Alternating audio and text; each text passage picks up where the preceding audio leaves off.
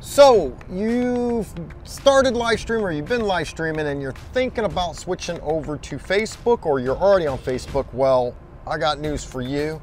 We got a nice video series coming up and the first video, today's video, is going to be how to do a free profile picture. Stay tuned.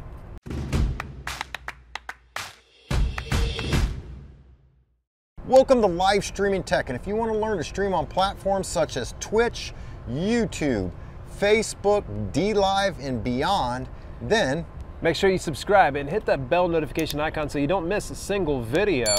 Hey, uh, today, man, we're gonna go ahead and start out a, a, a four-part series here when it comes to optimizing your business page on Facebook. Now, you're probably saying business page, wait, I just, I wanna do live streaming. Yeah, it's important you actually get a business page because the personal ones just ain't gonna cut the mustard. Well, not only that, but we've also had a lot of viewers get back with us where they found out the hard way that you can't stream on your profile page on Facebook yet.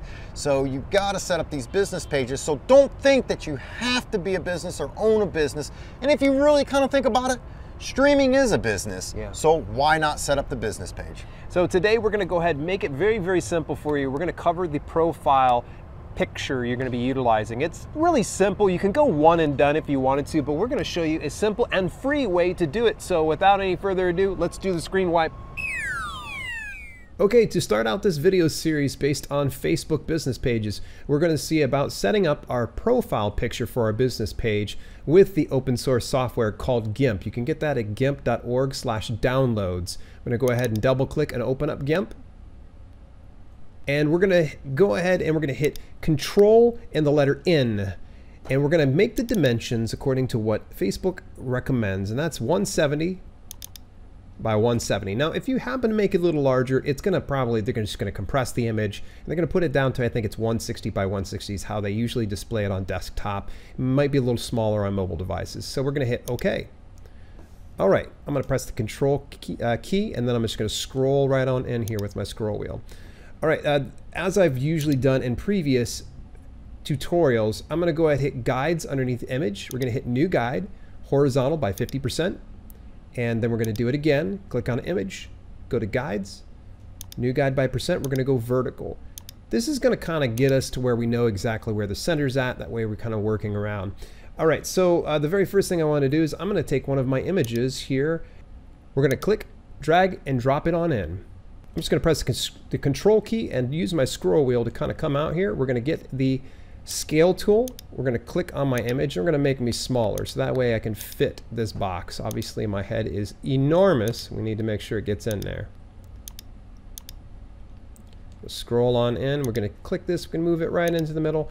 Now there's going to be two of our heads here in this. So I want to make sure that we are not doing too much here. Okay, so we scaled them and hit scale. Excellent. Now let's go ahead and take another image here. We'll click and we'll drag it on down. Again, grabbing the scale tool, we're just going to make it a little smaller.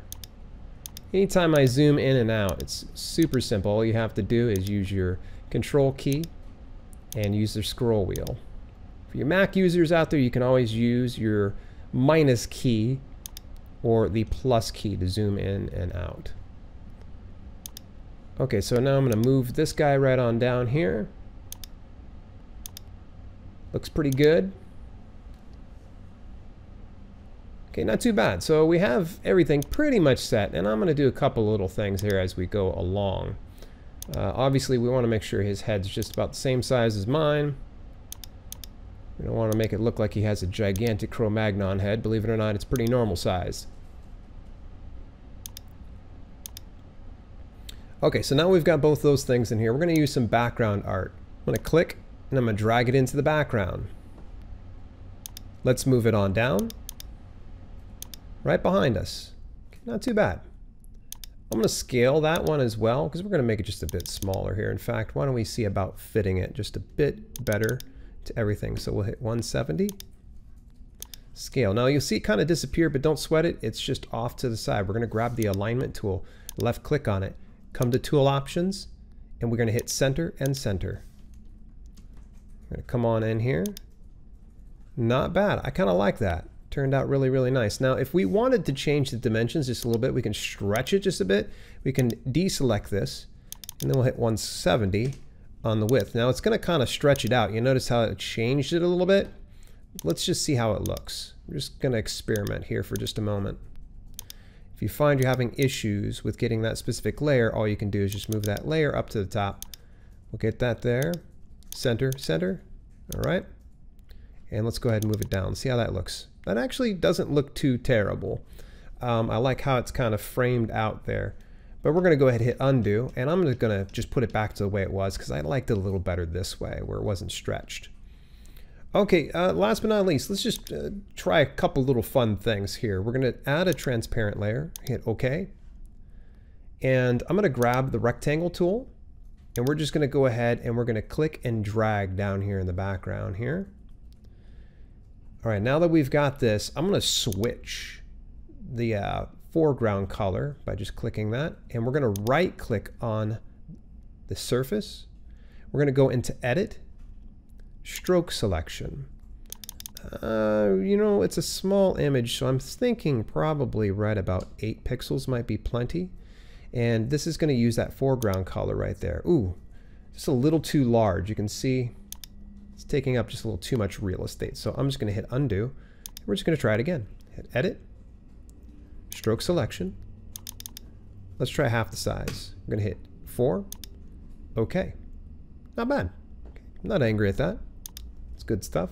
Control Shift A will deselect it. Now I kind of want it just to be a little bit lighter. So what we're going to do is we're going to come over here to opacity. And we're just going to kind of just get it to where it fades just a little bit. See that? Not too bad. Okay, now let's get our head so we're a little bit more even. One thing you got to kind of bear in mind, sometimes people will view this in a circular style fashion, so we want to make sure that it can fit. So that looks pretty good. All right, I want to remove his hand here because it's a little bit, I don't know, it just seems out of place. So I'm going to grab the eraser, we're going to go on his layer and just click it right off of that. See, not too bad. All right, last but not least, let's go ahead, right click on his head. We're gonna hit alpha to selection. I'm gonna select the next layer down. We're gonna add a transparent layer. Control and the period. Now, if you're using Mac, it's going to be the command key. Anytime I say control, it would be your command key, not the control key.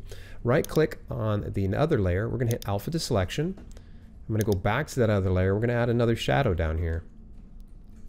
Good, Control Shift A We'll deselect it. I'm going to just shut off those layers right there. And here's what we're going to do. Is we're going to go into blur. We're going to create a little bit of a shadow here with a Gaussian blur.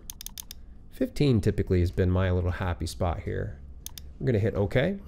Turn our heads back on and it kind of pops out from the background. It doesn't seem deep enough. So what I'm going to do is just do a little bit more. You see that? Not too bad. The difference here, before and after. Okay, so I'm pretty happy with this uh, profile picture so far. And we're going to hit Control Shift and the letter E to go ahead and get it to where we export this and we can utilize this. So what I'm going to do is we're going to hit, name this the Facebook.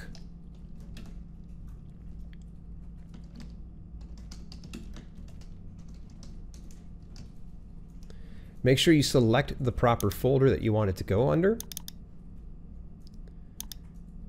And we're going to export. Now, uh, it should be noted, you should always save your GIMP document. So that way, if you've got to go back later on and you find that like the cover uh, photo isn't all that great or your profile pic isn't all that good, you can always come back here. So we're going to hit Control and the letter S to save.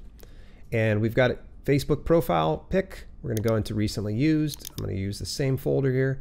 And we're going to go ahead and hit save. And this is all set. Now keep in mind, we're gonna go ahead and you can get this template and you can utilize this whenever you like. You can go to livestreamingtech.site slash FB template. The FB stands for Facebook. And while we're kind of talking about utilizing GIMP for all these different assets, believe it or not, we actually have an entire series. If you're thinking about breaking ground on Twitch, you're going to want to, of course, get all those things set up. So go over to this other video up here. And if you're a real rebel, you want to learn a little bit something different? We're going to surprise you with one over here. So I'll see you in either one of those videos.